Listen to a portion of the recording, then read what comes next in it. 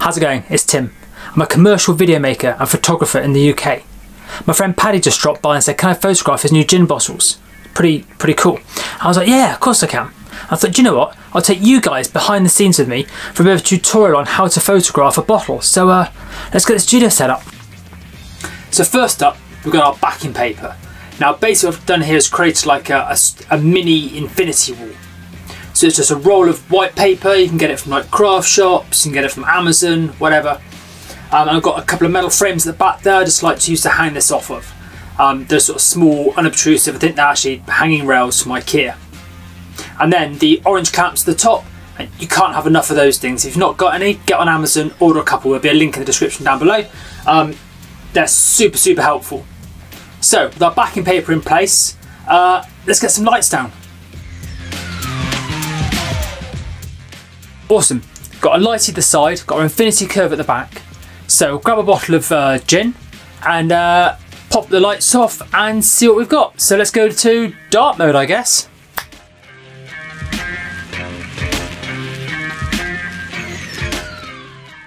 Okay, cool. So we have three bottles of gin. I've taken the middle one, like the, not the lightest or the darkest. Hopefully any settings for this will work well enough for the other two as well. So I'm to pop this down, get the lighting set up, maybe add some shadows, and then we can uh, take some pictures.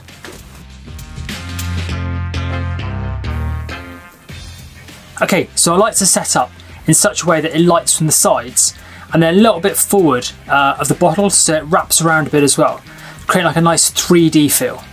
Now the camera settings to this one it's running at f11. I want to make sure I get a really nice uh, deep depth of field on this. I don't want blurry edges, I want to be sharp all the way through. To get like nicely defined outline around the bottle. Let's take a test shot and see what we've got. This one's a little bit overexposed. Um, I like to be balanced and pretty much exactly the same on both sides of this bottle. We want to be nice and symmetrical. So let's uh, tweak the lights and give it another go. That's a way better exposure. I'm happy with that. But the reflective logo on these bottles is going a bit dark in the middle. So let's fix that with a reflector. Uh, I think if you zoom in there, we've got the the logo before. And see that dark bit there, and as you change it, oh, look at that. This shot's looking great, and it'd be completely usable as it is, but we can make it a bit better by adding some shadows either side for some definition. Grab a couple of these black flags, they stand up either side of the bottle and create shadow. So let's give it a go. Before and after. And see the level of the, the black lines we've added in there and the dark lines at the side. So a little bit more shape. That's really cool. It's really coming together, but I forgot to put the reflector back in to make the logo pop at the front. Let's just quickly fix that. There you go, makes that pop nicely. Perfect, right. We've got our shadows, we've got our light wrapping round, we've got a reflector at the front, making the logo pop. Let's bung it into Photoshop and uh, see what we've got. First up, we've got the photo with the grey card. Um, purpose of this being here is that we can go for our white balance, custom, grab the picker and boom. And then let's just start with going to the three dots here and choosing previous conversion. And that's our white balance corrected. Now, while we're here, we can make sure we're happy with everything else. So, highlights, we don't have everything burnt out, so make sure we've got a nice clean shot there. And our shadows, we don't want anything completely burnt out in the shadows, but replicating the colour of the bottle quite nicely there. Um, a little bit of vibrance to give us some nice colour. Maybe put back a tiny bit, kick it with the saturation. Um, our whites, play the whites, I think. nice about, about there. And our blacks, we don't really want to punch anything really deep down into the black. So let's just make sure we're protecting our blacks there. Cool, right, we could put a tiny bit of clarity in as well. Looking good. Then just take any oddities out from the lens there, but that 7200 we're using today, um, it doesn't really distort, so we're all good. Cool, right, we've got a pretty clean bottle uh, that we can edit. So uh, first things first, let's cut the bottle out. So we're to grab our pen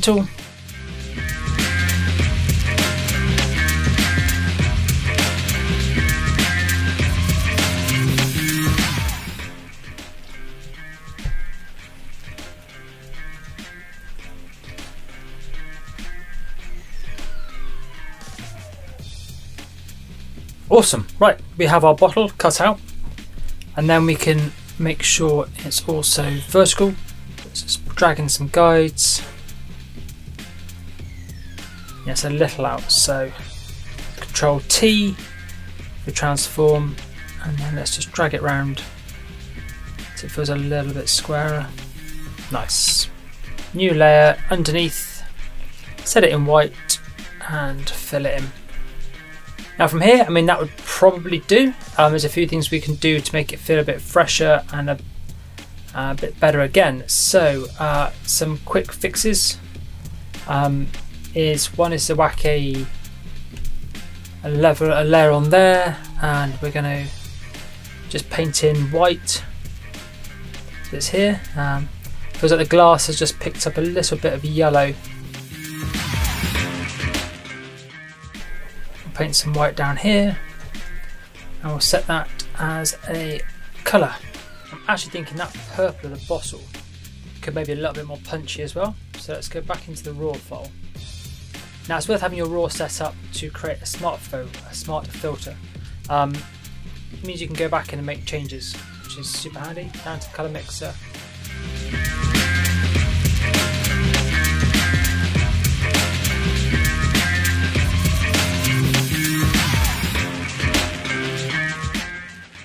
And then let's clean up some of these uh, details. So as you zoom in, uh, we've got these bubbles and things, a bit of condensation in here inside the bottle. Maybe clean this up a little bit. So let's grab a new layer and the clone.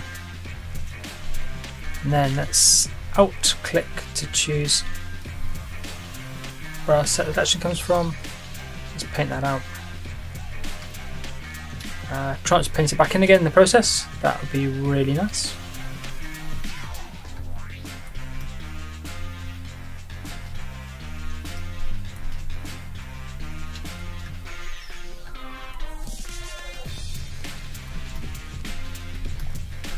We're not going to take out every single detail here, but it's just nice to remove some of the more obvious blips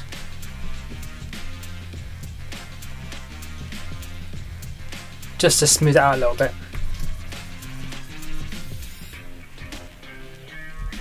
Great, now it'd be nice to uh, be nice to make the, the whites on this label pop a bit more as well. So let's take a selection just that section there. Shift copy up to the top and paste it in.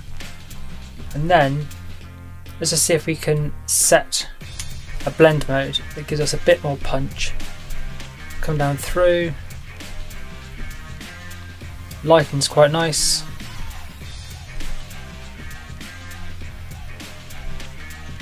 Screen's too much. Colour dodge might be nice just as a little... Yeah, I think colour dodge could be nice. Let's just zoom out without it, bring it in, very nice.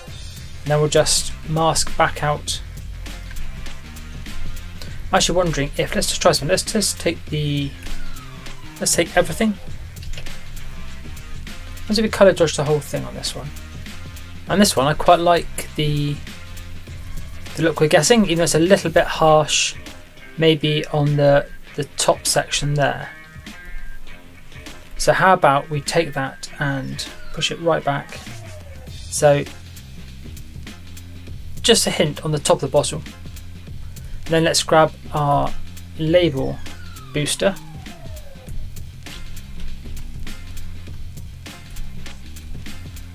And pull that one back.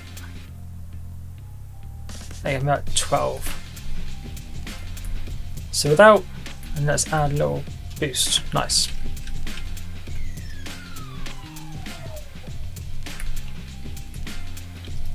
Then let's just make up a quick mask to remove that from the top of the, the bottle. Wash that out. There we go. So then let's boost up this logo here. So let's grab a new level. Small brush, a little bit of white. So without and with. It's a little bit of a pop. Just draw attention to that branding. I think it's starting to look pretty good.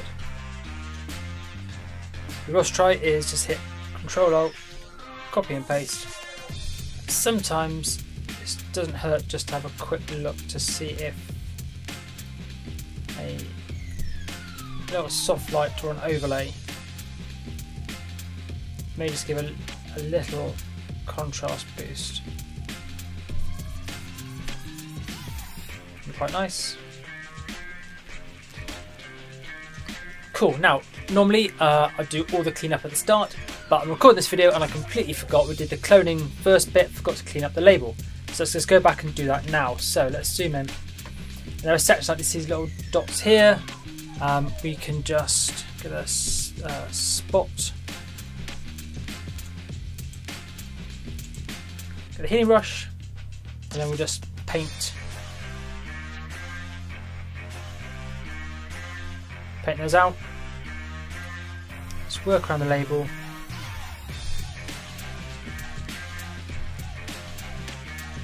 We'll just clean up each little spot. So, so for a lot of these kind of projects, um, I may go even further with the clearing up and the tidying and stuff, but I think for now, this is looking super good. I'm really happy with this. Um, obviously, we may want to composite this later on into something else, so I don't want to go too heavy on the shadows and the highlights and those kind of tweaks and make it look too graphical, um, because that just make it harder to paste into something later. But for like Amazon, for e-commerce, um, for providing to supermarkets, all that sort of thing, I think this is a super good image. Um, who doesn't want to buy a bottle of gin that looks like that? Hope you enjoyed that video. If you did, click like. If you want to see more of this kind of content, hit subscribe. Now, the next few weeks, I'm going to do some more kind of videos around some photography, some video making, maybe touch on the tools, how to make your own little black flag cards for tabletop photography, that sort of thing. Anyway, until then, have an awesome week and I'll catch you later. See ya!